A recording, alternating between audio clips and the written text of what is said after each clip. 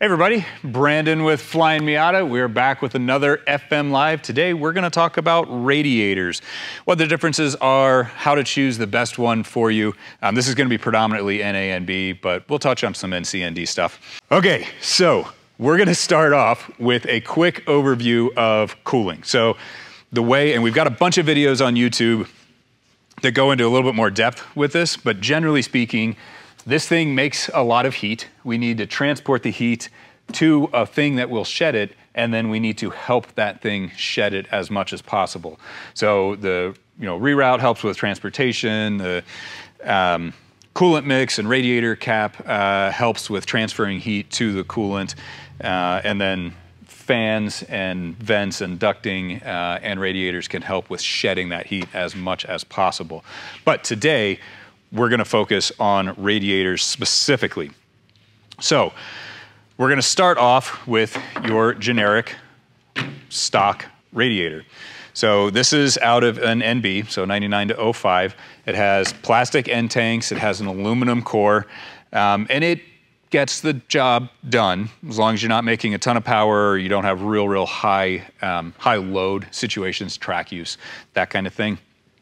Then this will probably get the job done. The main thing you want to watch out for is um, overheating if you've, you're putting more heat into it than your cooling system and the environment can shed and accept. But anyway, um, the biggest thing uh, from a from a maintenance standpoint to look for here is if this is kind of a brown or a green replace it before it fails. The plastic tanks can get brittle and fail. It'll take a while, but mm, a lot of these are not very new anymore. So keep an eye on that. If you see white crusty stuff here, that means the rubber seal between your aluminum core and your plastic tank has failed um, or is in the process of failing. So replace it on your schedule, not on its schedule, because it's much more annoying to put, replace it on its schedule. So that's what's probably in your car right now. Now, the first step, kind of, anyway, the first step is going to be a replacement stock radiator. So you can see it's basically the same thing. It's got an aluminum core, it has plastic tanks, so same rules apply. And this is a radiator that we sell. So this radiator will last for a while, but it's not going to last for forever because it has plastic end tanks, and that's part of why it's less expensive, but pros and cons. So the, the one that we sell specifically is Koyo radiator, so you know it's a good high quality radiator. And it also is for an automatic transmission. So you can see these guys right here. This is for the automatic transmission cooler. Uh, it'll work totally fine on a manual transmission car. You just leave these capped. Don't worry about them. You don't, they're not gonna hurt anything. The big difference here is the thickness of the core. Now, the thickness of the core can get out of hand. Too thick is not, uh, is not a good thing. But you can see the difference here between the core thickness of these two radiators. So um, the thicker core really makes a big difference in terms of heat exchange, in terms of cooling. Uh, hot tip, when we did all of our testing for the crossflow, and I spent hours. Actually, that's not true. I spent days in that room sweating all of my various parts off. It was not fun, but it was, I did it for science, so it was okay. So one of the things that we discovered in that, and I'll talk about crossflow stuff in a minute, but one of the things we discovered is that a Mazdaspeed radiator, which is basically this, but without the transmission cooler, it does have the thicker core, is actually one of the best performing radiators outside of our crossflow that we found. So this is a really good budget option if you need something cheap, you need something to get going. You have a little bit of increased load on the system, but not a lot of increased load on the system, and you're okay with, I'm gonna have to replace it in 10 years or something like that. They'll last a while, but not forever. So, we also have our generic aluminum radiator here. Um, I have no idea what brand this is, and it doesn't really matter. But basically, the idea here, or what I want to kind of point out, is that it's basically the same thing as a stock radiator. Your tanks are on the top, the core is up and down, um, so it's the same format. So, you know, pro is that it's going to install very easily because it's just a straight drop in. usually. Asterisk on that kind of quality. Uh, your results may vary based on the quality of the part that you are installing, but so the advantages to this one, uh, it's aluminum tank, so that'll shed a little bit of heat, but it's also, again, assuming it's a quality item, not gonna have the plastic tank failure. Um, a thicker core, which is good up to a point. The problem with a thicker core is that it's going to increase the resistance to airflow, right? So as you have a given amount of air hitting the radiator and trying to go through it, if there's a lot of pressure here, then the air is going to go around. It's not going to go through the heat exchanger, through the radiator. The other problem is that if there's there's a big temperature difference here at the front of the radiator uh, because the air has just entered it. By the time you get to the back, there's not as much or very big, uh, very much of a temperature difference between the coolant and the air. And the bigger the temperature difference, the better your heat transfer is and the better your engine is going to be cooled. You know, the better your coolant temp is going to be kept in check. So uh, these are, okay, they're way better than this. They're not really that much better than this, but they do look a lot better and they should last longer. But the right answer, in my opinionated view, is our crossflow radiator. So you can see this one looks different. So let's, we'll go back to stock. Sorry, not enough room for all of my things here. So you can see tank on the top, tank on the sides. So in this one, the coolant comes in here, goes down here, and then comes out here. So it's in the radiator for that distance, right? On this one, the coolant comes in back here, goes across here, much longer span there, and then comes out on the backside here.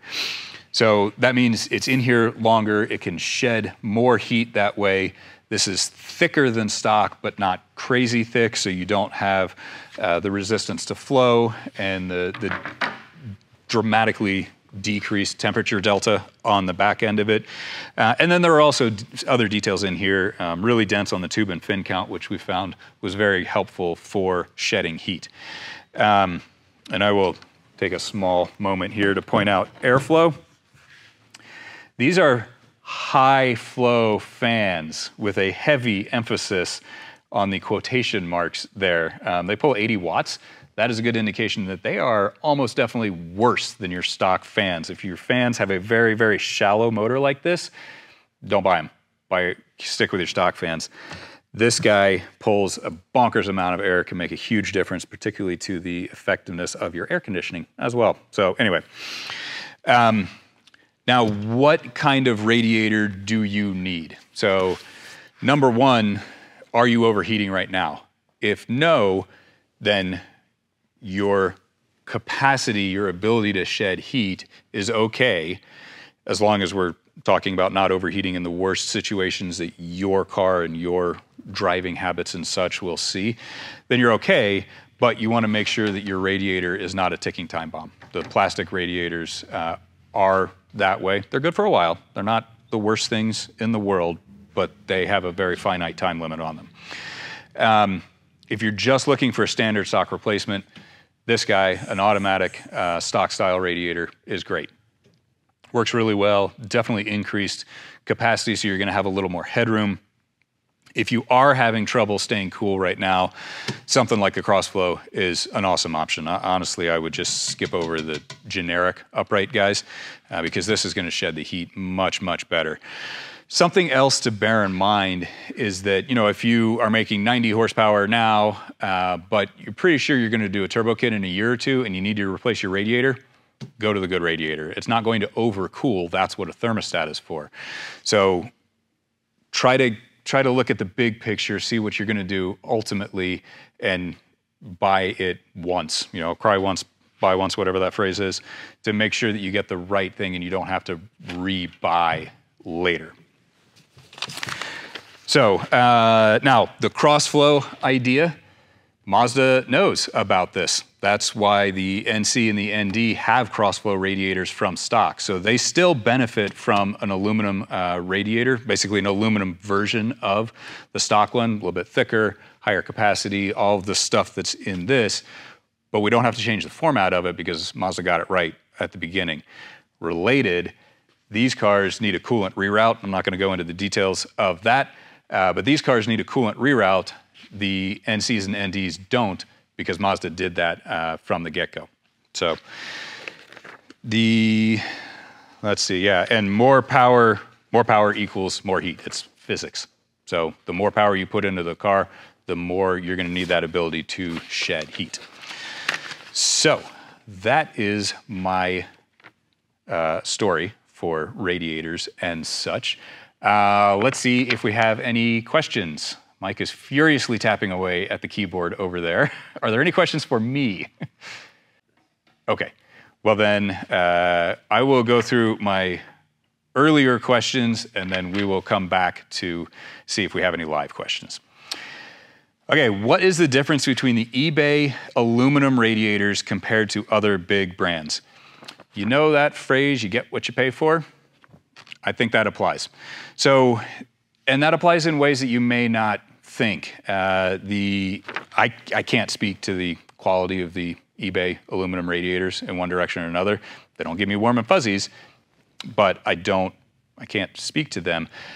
They're very much going to be duplicates of the stock radiator. My guess is that there's not a lot of engineering into what kind of tube and fin count is best, what kind of details on the fins are going to help shed the heat, shed heat the best, that type of thing.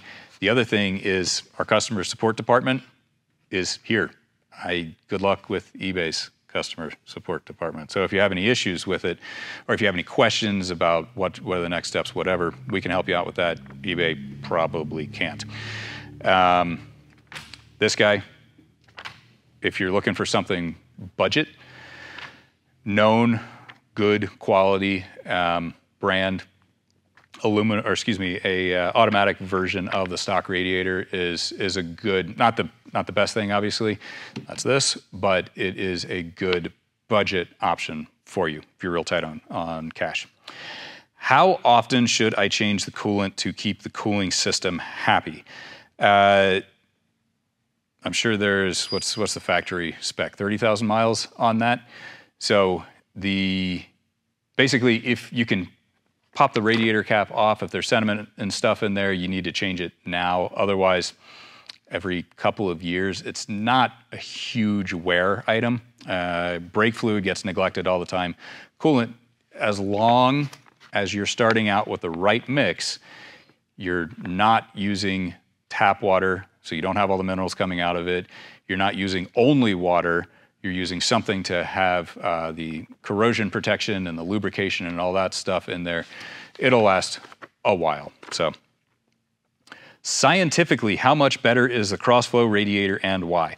I will refer you to our knowledge base where I believe we have an article about me sweating my various parts off in that room, uh, testing a bunch of different radiators, crossflows, uprights, different tube and fin counts to uh, see what is the best, and it was scientific.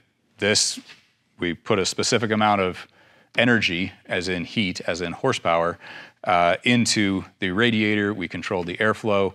We controlled the ambient temperature as much as possible, which was a challenge because it got real hot in there.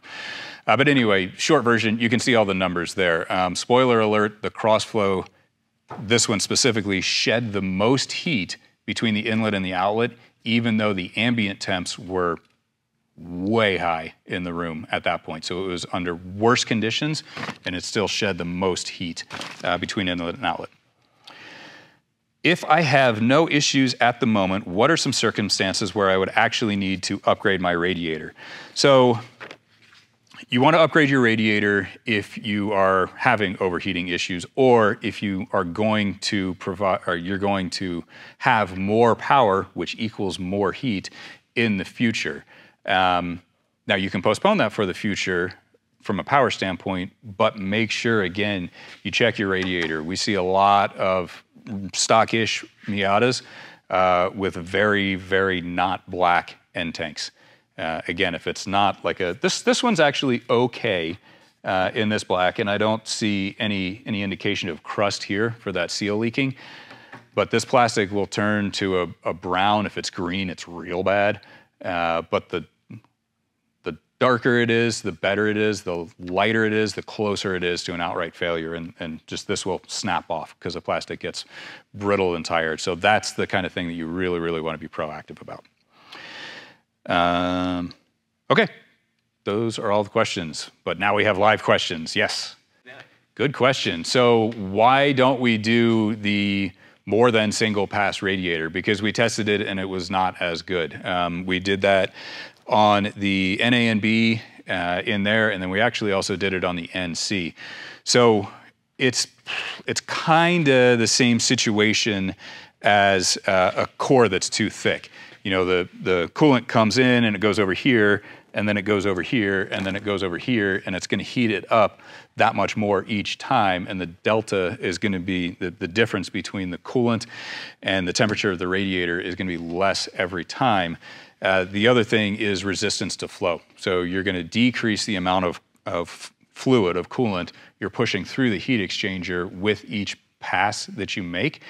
Um, in some situations, uh, drafting you know, if you're in a spec Miata or something like that, uh, a thick radiator, maybe with multiple passes, could be beneficial, but basically you're just delaying the inevitable. Um, you have a bigger heat sink to put energy into, to put heat into, but once it's saturated, it's not going to shed heat as well. So hopefully that answers that question. The really short version is that we have experimented with double and triple pass radiators, and in our experience, the single pass has outperformed it every time. So will we need a radiator for NC Turbo? That is going to depend on what you're doing with the car. So with our NC Turbo, we're paying very close attention to the heat, uh, thermal management, coolant flow, all that fun stuff. So the need, the need for improved cooling will be lesser than with other kits. That said, you are increasing the horsepower quite a bit, and horsepower, you know, more power equals more heat. It's pretty, pretty straightforward. So if it's a street car, mm, there's a decent chance you'll get away with a, with a stock radiator because it is pretty good. It is a cross flow. It's quite big. Uh, for a Miata. It's got a lot of surface area to it, so you have some advantages over something like an NA uh, NB to start off with. Also, your car already has a reroute, so you don't have to worry about that. Um, that said, the harder you push it, the more likely it is that you're going to need improved cooling. So if you're going to go to the track a bunch, yeah, there's a pretty good uh, chance that you're going to need a an improved radiator, an aluminum, basically an aluminum version of the stock setup, a higher quality, uh, denser, or excuse me, thicker core, but not too thick, dense on the tube fan count, all that fun stuff. So hopefully that answers that. No more questions. All right. Well, there you go. Hopefully, you learned something about radiators today. If this was good, give us a like. If you have ideas for videos, again, drop them in the comments. We are doing this every Thursday, so come back next Thursday, see what new and exciting thing we're going to talk about. Thank you very much. We'll see everybody later.